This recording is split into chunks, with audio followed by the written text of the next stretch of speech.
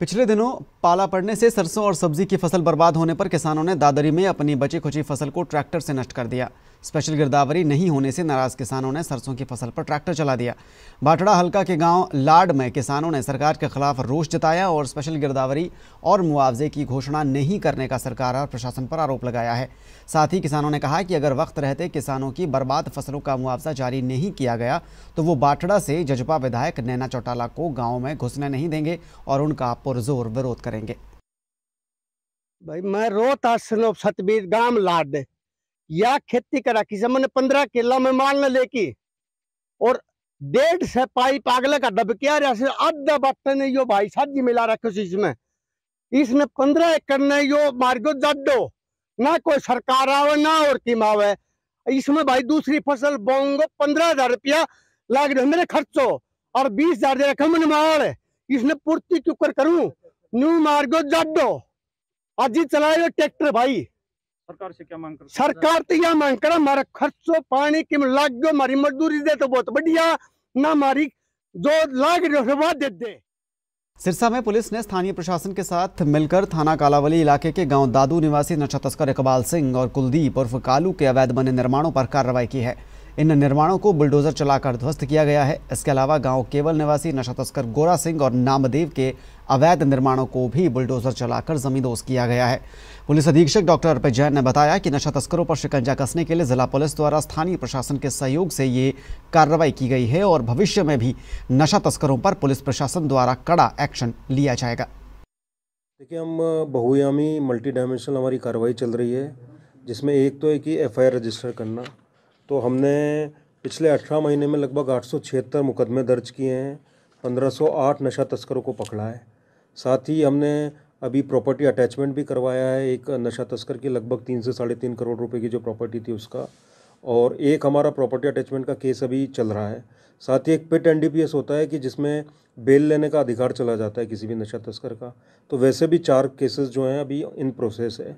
तो ये हमारा सारा चल रहा है और भी लीगली जो हम कर सकते हैं इसमें। जैसे अगर कोई एनडीपीएस में दवाई पकड़ाती है तो उसके जो भी ओनर है या जो भी सीईओ है, जो सबसे बड़ा अधिकारी है उस दवाई कंपनी का, उनको भी हम नोटिस दे के यहाँ बुलवा रहे हैं कि कहाँ पे ये फॉल्ट हुआ कि जो प्रिस्क्रिप्शन ड्रग था या जो एनडीपीएस में था, वो बिना उसके दिया गया। तो पूरी चेन पे हम लोग वर्कआउट कर रहे हैं और हम एनडीपीएस में जो भी सबसे सख्त प्रोविज़न होते हैं, वो नशा तस्करों के खिलाफ लगा रहे हैं। हाईकोर्ट के आदेशों के बाद फरीदाबाद में नगर निगम के विजय रामलीला कमेटी द्वारा बनाए गए रामलीला मंचन स्थल और दुकानों को नगर निगम ने ध्वस्त कर दिया है। नगर निगम अधिकारियों के मुताबिक रामलीला कमेटी के पदाधिकारियों ने पार्क पर अवैध कब्जा कर मंदिर, धर्मशाला और कॉमर्शियल दुकानें बना दी थीं, जिसे हाईकोर्ट के आदेशों के बाद अब तोड़ा गया है।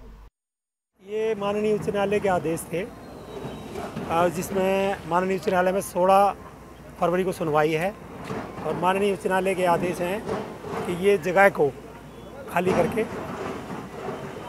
इसको खाली कराओ। वैकेट इनेलो की परिवर्तन पदयात्रा को लेकर इनेलो कार्यालय नूह, अनाज मंडी में कार्यकर्ताओं की बैठक हुई है। इस बैठक में प्रदेश अध्यक्ष नफे सिंह राठी पहुँचे थे।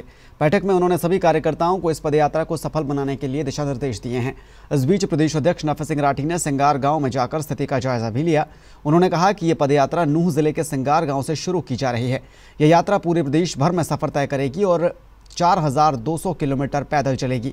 22 फरवरी से इनेलो की ये पदयात्रा शुरू होने वाली है।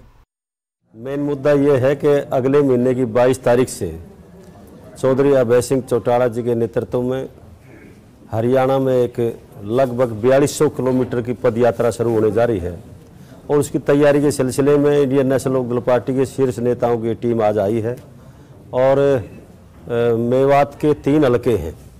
तीनों हलकों के मुख्य कार्यकर्ता आज विराजमान हैं। हम उन हर गाँव में जाएँगे जहाँ से पदयात्रा निकलती है। और सभी मुख्य कार्यकर्ताओं से मिलकर के इसकी तैयारी के सिलसिले में हम लगे हुए हैं। बहुत शानदार कार्यक्रम होगा और मेवात में बहुत बड़ा लोगों का जमावड़ा होगा। जिस दिन शुरुआत होगी, उस दिन से लेकर के आखिरी दिन तक बहुत अच्छा कार्यक्रम होगा। ये मेवात के सभी साथियों ने आश्वासन दिया है। कांग्रेस नेता नवीन सांगवान ने प्रदेश और केंद्र सरकार पर जुबानी हमला बोला है। जींद पहुँचे नवीन सांगवान ने कहा कि मौजूदा सरकार से हर वर्ग परेशान है और किसान सड़कों पर उतरने को मजबूर हो रहा है। उन्होंने जुलाना के किसानों को लेकर कहा कि जुलाना में किसानों की हालत खराब है और अन्नदाता को तड़पाया जा रहा है। उन्होंने आरोप लगाया कि जलाना को हाल ही में कई नेशनल हाईवे से जोड़ा गया है, लेकिन ये सिर्फ़ जींद में रैलियाँ करवाने के लिए ही बनाए गए हैं।